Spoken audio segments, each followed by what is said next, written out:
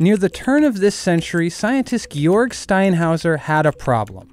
He was fascinated by the question why do some belly buttons collect more lint than others? But no one knew the answer. So for three years, he collected his own belly button lint to find out. And after interviewing friends and analyzing 503 of his own samples, Steinhauser discovered the culprit stomach hair. It scratches off tiny t shirt fibers and directs them towards the belly button. So that might be one mystery solved. But lint isn't the only thing inside these bizarre human crevices. Your belly button is a scar, your very first one. It forms when a doctor snips your umbilical cord, and depending on how it heals, you could have an outie, or more likely, an innie. And innies are ripe for colonization. Not only by lint, hair, and dead skin cells, but also by bacteria. In one study, 60 volunteers swabbed their belly buttons. Researchers then analyzed the samples and found more than 2,300 kinds of bacteria. That's an average of 67 different kinds per belly button. Now, many of those microbes aren't unique to belly buttons, like Staphylococcus, which can lead to staph infections. It shows up in noses, throats, hair, and yes, even belly buttons. But the researchers also discovered other bacteria never before seen on human skin, like Marinomonas, which scientists had previously only seen in the ocean.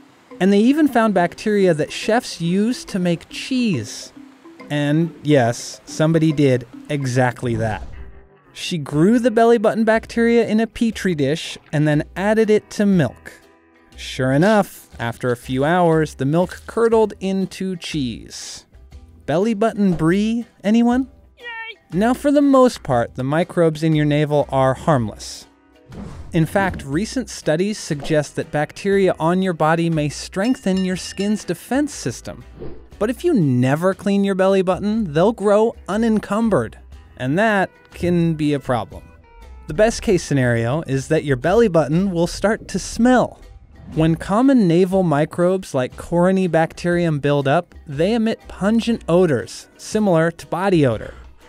But the worst case is that your navel will get infected, not just by staph, but also by microbes that cause strep throat and yeast infections. That's right, you can get a yeast infection in your belly button which can lead to itching and redness and cause a clear or off white discharge to leak out, which almost looks like cottage cheese. So, how does that cheese sound now? While microbes colonize your belly button from the outside, there could also be an invader from the inside. We're talking about belly button hernias. In the womb, the umbilical cord runs from your mom to you, passing through an opening in your abdominal muscles. Normally, that opening seals up after you're born, but in some cases, it never really closes all the way. This can allow internal organs to slip through, creating a bulge behind your belly button. Navel hernias affect as many as 1 in 5 newborns in the US but they're rarely life threatening and are far less common in adults. In fact, as long as you rinse your belly button with warm, soapy water once a week, the worst you'll have to put up with is a little fluff.